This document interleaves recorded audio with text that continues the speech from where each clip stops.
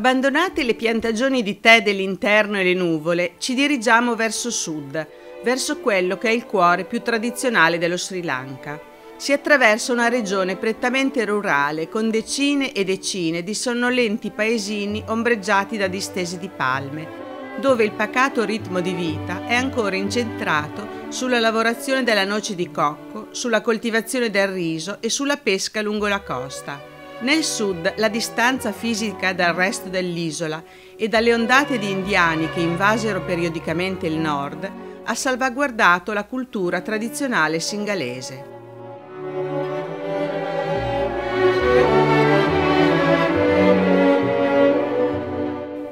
Facciamo tappa a Kataragama, una piccola cittadina rurale che è uno dei tre siti religiosi più venerati dell'isola, insieme al Picco di Adamo e al Tempio del Dente di Candy. Il nostro albergo, il Mandara Rosen, è immerso in un meraviglioso giardino e ha una piscina con un impianto musicale subacqueo, ma non so se qualcuno del gruppo ha avuto il coraggio di nuotare con la musica dello squalo in sottofondo.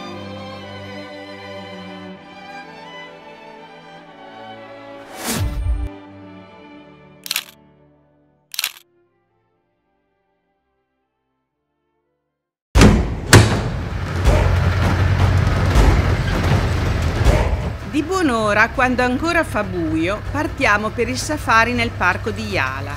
Ci addentriamo nel parco a bordo della nostra jeep, in completo silenzio. Il Parco Nazionale di Yala è una delle riserve naturali più grandi dello Sri Lanka. Occupa una fascia costiera di 35 km nella parte sud-est dell'isola e si estende per più di 1000 km quadrati. Qui regna un re, uno dei predatori più temuti della natura, un cacciatore furtivo e tenace, il leopardo, l'unico predatore al mondo ad essersi evoluto al punto di diventare dominante in un ecosistema. In India deve competere con le tigri, in Africa con i leoni, ma qui regna indisturbato.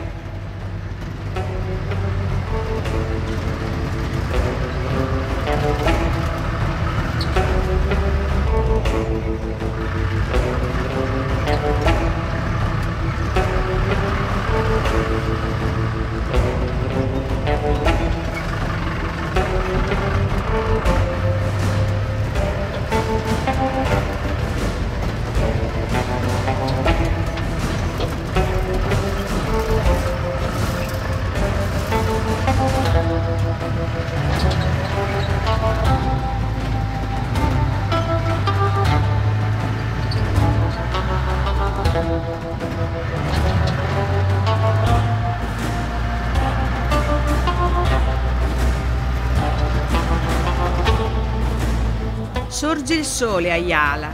Siamo ai margini costieri del parco. La vegetazione diventa meno folta, le foreste di palme sono più rade, ci sono ampie estensioni di bassa giungla intervallate da grandi radure. Costeggiamo vaste lagune salmastre abitate da decine di specie di uccelli e specchi di acqua dolce che punteggiano la giungla. Sono depressioni naturali che durante la stagione dei monsoni trattengono l'acqua, utilizzata poi dagli animali durante la stagione secca. Con i primi raggi del sole il cielo si popola di ali, grandi aironi, pavoni, cormorani.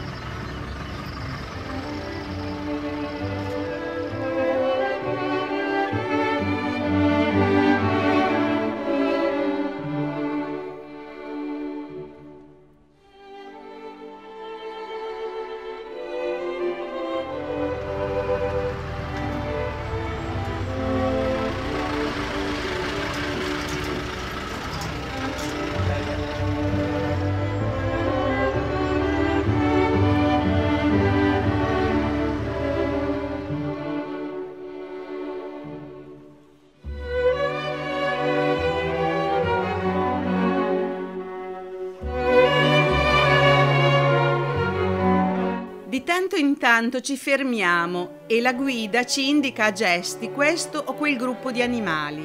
Ci sono grossi varani che sembrano mostri preistorici e gruppi di cervi maculati sempre molto attenti al sopraggiungere di qualche predatore.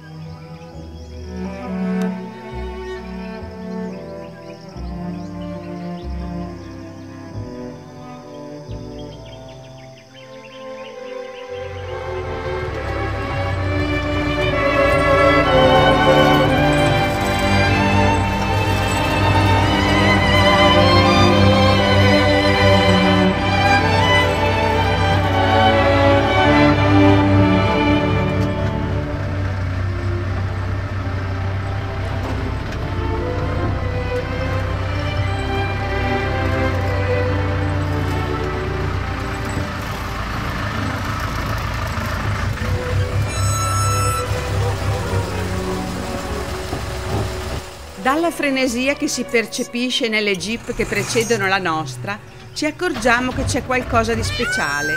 È un leopardo che si nasconde nella macchia.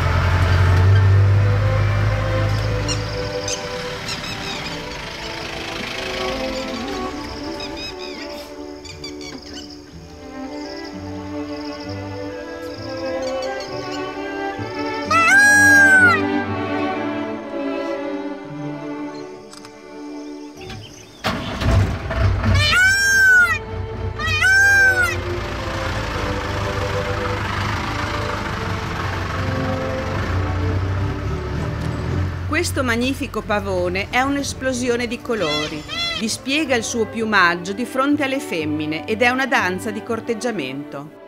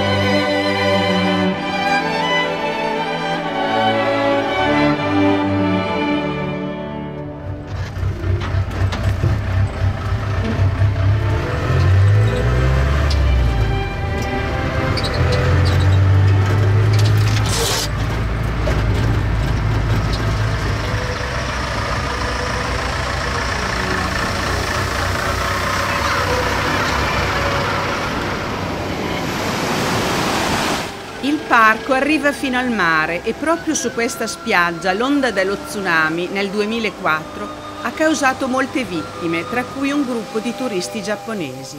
La costa orientale e quella meridionale dell'isola furono le più sconvolte dal cataclisma. Lo tsunami arrivò in certi punti a due chilometri nell'entroterra e provocò almeno 50.000 morti. Anche il parco di Yala fu ampiamente colpito Tuttavia pochissimi animali vennero trovati morti, nessun elefante, nessun leopardo. Oggi chi visita il parco si accorge dello tsunami solo per qualche scheletro di albero, perché la vegetazione è ricresciuta rapidamente e le dune costiere si sono riformate.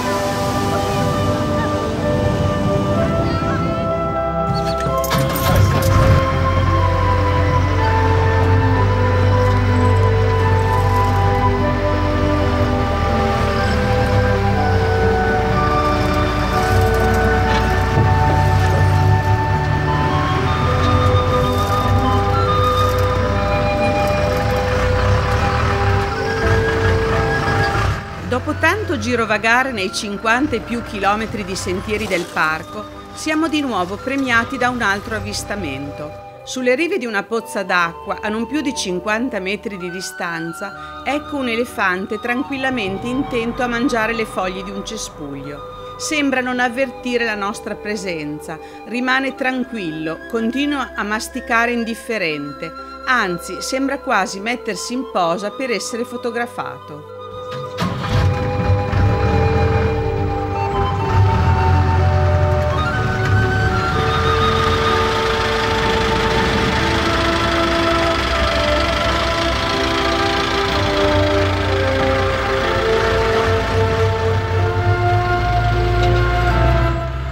Sole è alto, i bufali scendono in acqua immergendosi fino alla testa. La visita è finita perché nel caldo afoso del sole pomeridiano la maggior parte delle creature della giungla si ritirano nel fresco del fogliame e con la calura anche molti predatori si riposano.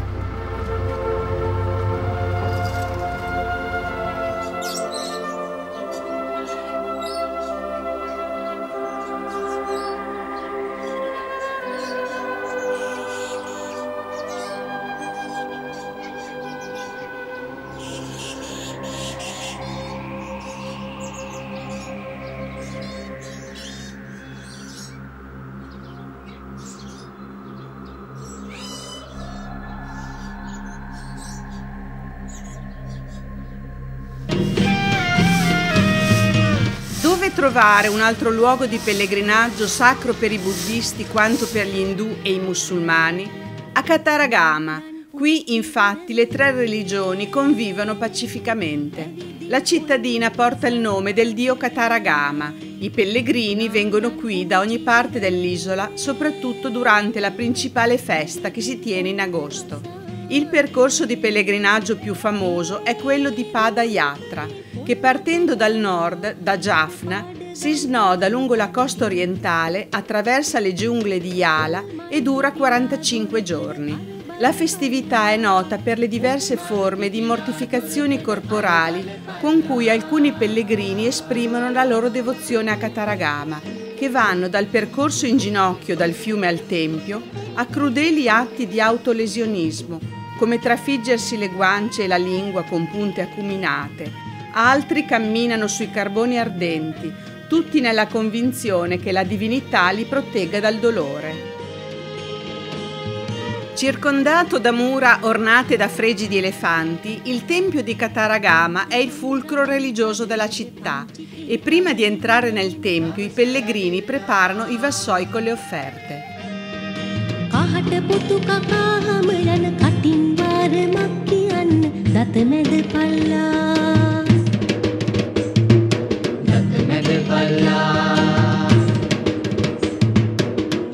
Il muro e la porta sono ornati con pavoni, l'animale che è associato al dio.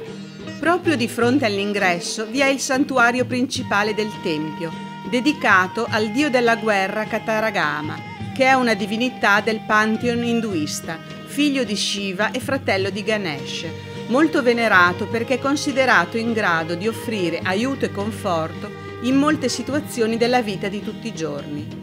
A dimostrazione del concatenarsi in Sri Lanka tra buddismo e induismo, per i buddisti Kataragama è uno dei quattro grandi protettori dell'isola.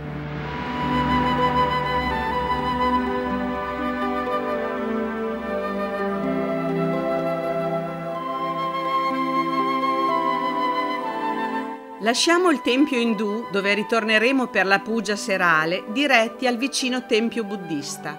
Percorriamo un lungo viale che passa tra una serie di bancarelle che vendono fiori di loto. Il Kiri Viara è una grande dagoba bianca, racchiusa da mura. È un luogo tranquillo circondato da un grande parco.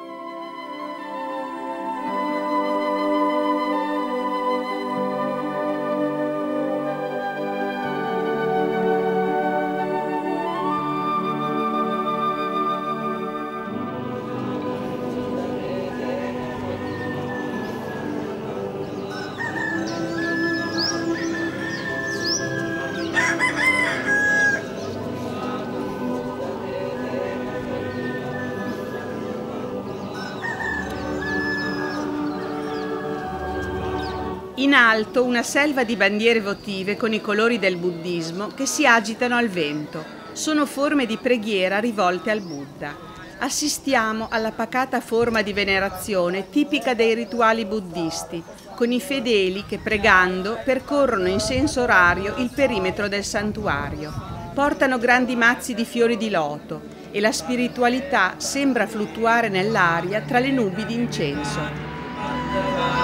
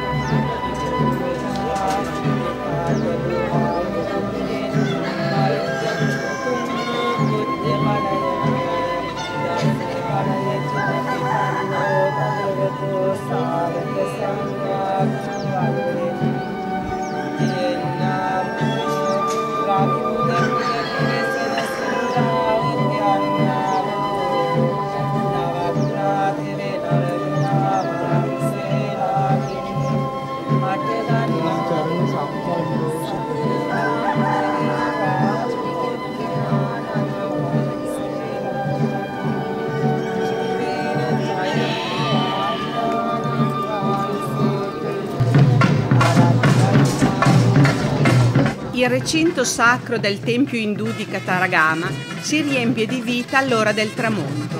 La pugia inizia con l'arrivo di danzatori e suonatori. I musicisti suonano trombe e tamburi girando per il tempio. Sono seguiti da gruppi di fedeli che si esibiscono nella Cavadi, la danza del pavone. I danzatori portano sciarpe rosse perché il rosso è il colore del dio. Al suono della musica sincopata, i fedeli volteggiano con fervore e devozione, quasi in estasi, con in mano i cavadi, gli anelli semicircolari, addobbati con piume di pavone, ai quali la danza deve il suo nome.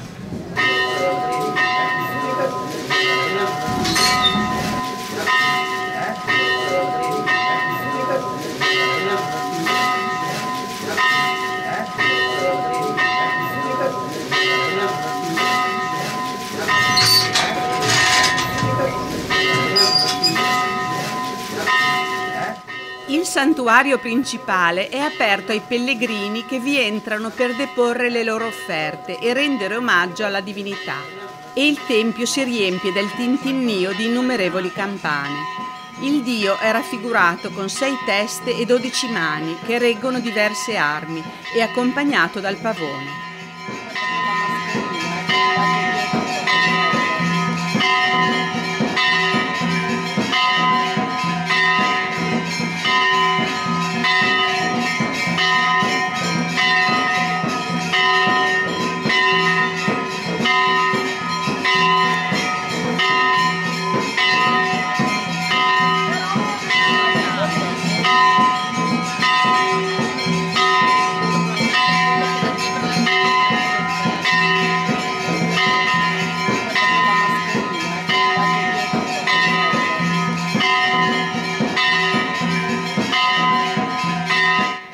Fedele fracassa una noce di cocco infuocata al suolo con gran foga.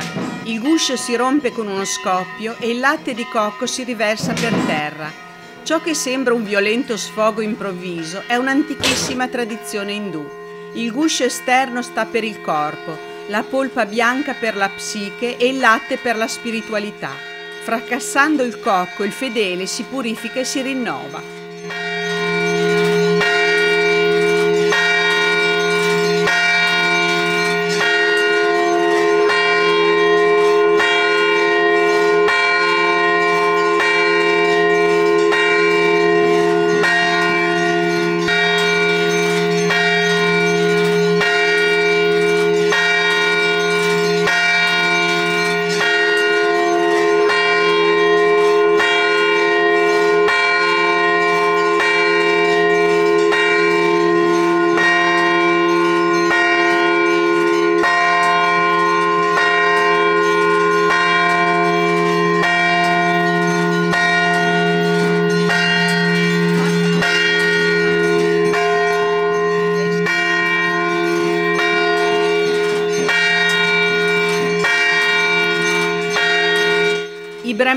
Vestiti di bianco entrano nel Santa Santorum, dove eseguono varie cerimonie.